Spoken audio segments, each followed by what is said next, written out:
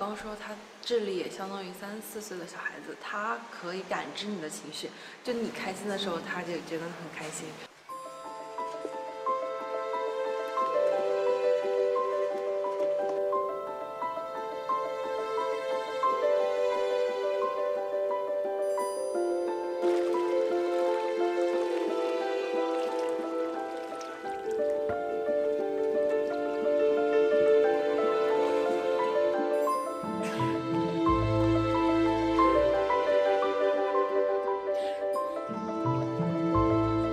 And the situation of the finless porpoise actually reflects the situation of the Yangtze River ecosystem. So it's like a symbol of the Yangtze River.